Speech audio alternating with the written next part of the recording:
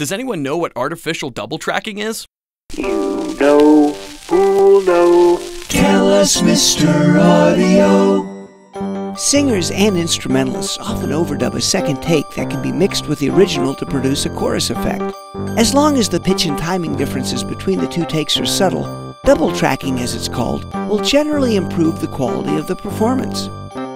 Working with the Beatles, Abbey Road engineer Ken Townsend thought of a way to create the sound of double tracking without actually having to record a second take. The Studer J37 four track recorders they had at Abbey Road Studios were unique in that they had separate amplifiers and separate outputs for both the sync repro heads, which were also the record heads, and the playback heads. All other multitracks have a switch to select one or the other output, but not both at once, like these particular Studer J37s.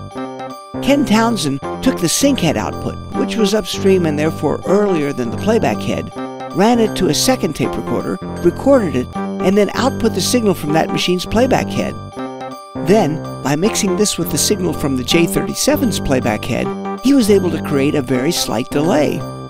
This delay could be adjusted by using an oscillator that fed a power amp that was used to supply AC power to the second machine. The oscillator mimicked the 50 Hz line frequency, and by adjusting the frequency of the oscillator, he was able to speed up or slow down that machine's capstan. By slowly changing the tape speed of the second recorder, he could not only change the timing of the delay, but could also subtly modulate the pitch. Combining this with the natural speed changes due to the wow and flutter of the two machines enhanced the chorus effect. This technique, that was widely used by the Beatles and many others, is known as ADT, artificial double tracking. Thanks, Mr. Audio.